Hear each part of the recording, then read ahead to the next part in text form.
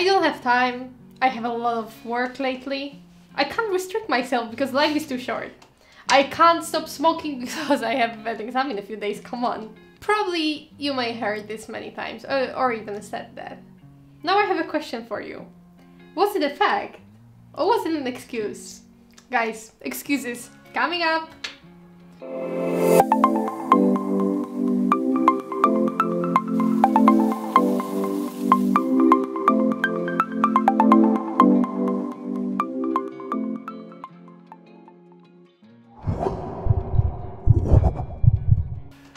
Week, we spill out useful tips, tricks, and hacks about how you can live a healthy lifestyle and live the life you always wanted to. So if you haven't already, please consider subscribing. And if you're really interested, click that bell icon so that you can remain up to date of this journey. Also guys, we are on Instagram, Facebook and Twitter, so if you're interested in healthy recipes, inspirational and motivational posts, please give us So a follow. follow. In this video, we are covering 7 the most common excuses preventing you from being healthy and what we actually want to do to acknowledge them, recognize them and maybe say no to a few of them next time. Are you ready? Before we get to the actual excuses, let's start with understanding why we're so vulnerable to these excuses on a daily basis. Everything from fast delivery orders to the quick and immediate way that you want to tone your body is focused on quick and timely results. What does marketing companies and techniques do? They exploit this and get you attracted to all sorts of rubbish. And that could be from the state of the art fat burning pills to 20 minute uh, fast food delivery, all of which have a negative impact on your health. We are so programmed to chase short term comfort that we forget about the long term benefits and we actually postpone the effort to get the long lasting benefits. This is why we sign up for a gym as a New Year resolution and we give up just after a few times being there. It happened to us a lot of Yeah. times on numerous occasions and probably it will happen in the future as well. But actually, what is the aim of this video? To show you that the clue is to recognize the excuses and actually deal with them, manage them properly. So, let's get into the excuses. Good food is expensive. Well, I think we think it's just a matter of priorities. Whether it's the new makeup brush, or whether it's the new shirt that you want to buy, or whether it's a it's the drink that you want to have with your friends. Well, could you alternatively use the same money to buy something healthy? We're not oblivious to the fact that organic and sustainable food is actually very expensive. But what we're trying to get you to challenge is eating whole foods which are not processed, frozen pizzas or burgers are a much better choice for your health versus giving it up altogether. So the effort and the priority counts a lot to that. So the next time when you're out there, think twice before tapping your credit card. Actually, maybe what would be the better choice for your health. So, in terms of the tip, we know that organic food might be expensive and we don't challenge that fact. But actually, what you can do to deal with this first tip properly wash your food in soda, in baking soda, or salt. Buy lean cuts of meat if you don't have actually ability to buy organic meat because chemicals and toxins are stored in the fat. Try to choose the local market instead of the huge malls and, and grocery stores and actually ask the people how the food was sourced and, and find places where the same person who sells you the products actually feed the animals. Just ask. People are very open. Yep. Also, as a fourth tip, probably you came across this before um, Dirty Dozen and Healthy 15, we will link below. And this is a simple concept that a lot of researchers were developed about this that certain fruits and vegetables contain um, a huge amount the residue of uh, chemicals and pesticides. Um, if you, of course, don't have ability to um, buy organic food, you can just simply use our 15 uh, clean list of fruits and vegetables. And, and a great example is avocado. No time for gym or no time for cooking. Hey, we understand that. Stressful day at work, well, the family's coming over, you got a flight to catch. All of these things bite into your time, and then maybe sometimes you don't have the actual time to dedicate to cook and be active, etc. It certainly happens to us as well. This one's quite simple, really. I mean, just like we always say, start introducing the habit of what you want to do in very natural, baby, small steps. If you don't have the time because you have a very stressful day, Try getting up from your desk every hour or walk walk to work 10 minutes. It doesn't have to be hour and a half gym sessions. Just just become conscious that you want to introduce movement to your day. As Lucky just said, start from something very small. That small that you will even think it's silly. I mean it. For example, 10 push-ups. 10 push-ups, even one push-up a day. Yeah. But you will have to commit yourself and it has to be something that small that you will be able to deliver and do it every day glass of water every morning or some squats or some breathing exercises for five minutes or even one minute but try to commit it and do it every day. On the other hand we cannot expect to have more time for new activities and new duties if we keep prioritizing the same entertainments or the same activities. You can skip Netflix binge watching or the next fourth drink invite in the week and instead of go to the gym, try to prepare your food and do something for yourself. It's simply about mindset shift and becoming and developing habits every day, which will help you and improve yourself then. So what are these basic baby steps that we can introduce to get over this excuse? You could start to add a sense of commitment. So plan your week, if it's a long walk on the beach, if you have access to the beach, or if you want to do Pilates or yoga, add that to the calendar and have a sense of commitment to it. Prepare a list of meals that you actually like. Then list out the ingredients, go and shop for them. But don't forget, there might be instances that you come across and crave for those junk foods, so replace them with healthy snacks. Start from prepping a meal at home, probably breakfast, which is which you have easy access to a stove, and then you could do that before you go to work. When you want to really make a step forward, and if you're already doing breakfast at home, buy a bunch of boxes and start packing your food so that you take to work. But wait, don't ever microwave it. It's one of my personal favorite, or even ours personal It favorite. Um, we always have an excuse that we need a comfort food or we need a cheat meal because something happened, something happened, whatever. This thought of cheating in your healthy lifestyle is built on the foundation that healthy lifestyle actually is a burden or a chore. It's something that you have to do. With time, you will understand that it's nothing like that at all.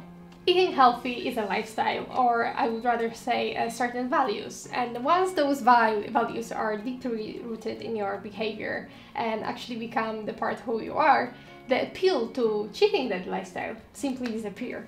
Well, come on, it's human nature, isn't it? We always want to do things that we're told not to do. It's kind of the addictive nature around it. Well, the effect gets compounded because of all the chemicals and the additives and the sugar in the junk food that you've chased all week to have that cheat meal for. So, what if we take a step back and actually treat the relationship you have with food just like a healthy marriage? And introduce healthy and authentic food rather than the, the fast food burgers or the thousand calorie milkshakes. So guys, let's jump into the tips. So to actually make the leap into a healthy lifestyle free from hunger, free from struggle and actually with no need for a cheat meal, we strongly advise you to start reading labels. We cannot stress this enough how important it is. Once you read these labels, the question is whether you still find it delicious. And the second tip is to equip your pantry with all healthy snacks like dates, dried fruits, organic chocolate, nuts, and, and other bars, or vegetables, organic crispy chips. I don't like vegetables, or I would rather say here, I don't like vegetables, seriously. You know what I'm talking about. Vegetables are the greatest source of vitamins, minerals, and fiber, being at the same time low in calories. Is it a dream? Okay, like kale and celery doesn't have to be your faves, but seriously, all of them, they are too rich to be omitted. So put an effort to introduce them to your daily diet in the way you like the most. You can pan fry them, you can bake them, you can blend them. Is so many ways you can cook them and actually front load your meals with vegetables. Drinking is a social norm. We've evolved over gathering.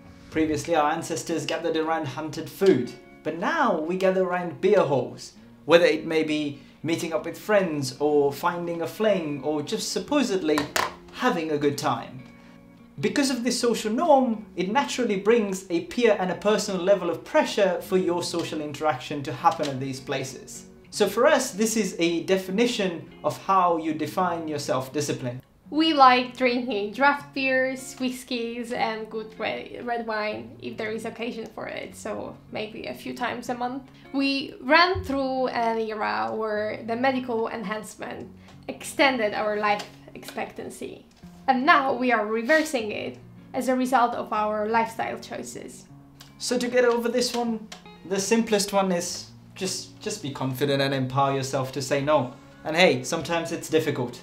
I know that. Maybe uh, maybe you know that too. So if that's the case, ask your friend or a colleague to help you out. Say that you know what, I'm I'm trying to cut down on my alcohol intake. Um, as soon as people feel like they're helping you, they're more inclined to actually help you with it. Or if that's not an option, third way of doing it is just come up with a white lie.